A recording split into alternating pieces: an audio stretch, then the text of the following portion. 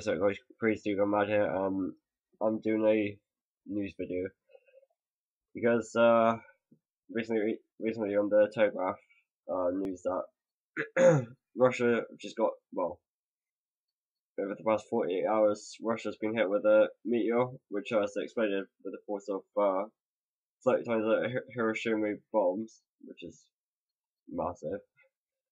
Um, yeah, that's what NASA said uh like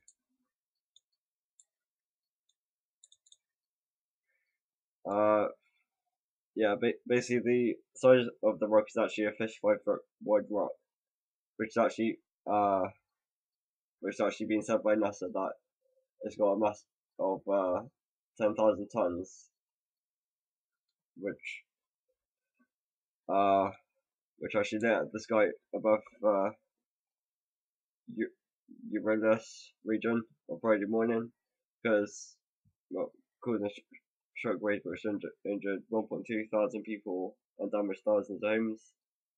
So yeah, that was basically the, this biggest meteor which hit in like most modern times. So yeah, shit's going down there. Um, NASA also estimated that the released from the meteor was dis- disintegrated. Uh, or went disintegrated in the atmosphere that uh, it was 500 kilotons, which around 30 times the size of the nuclear bomb dropped on Hiroshima in 1945.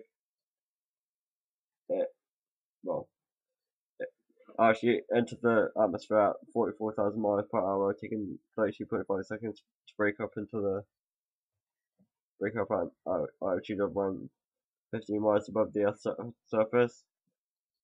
So, yeah, resulting in an explosion creating a shock shockwave that blew, blew out windows, circle alarms in Shab- Shalibinsky two or half minutes later.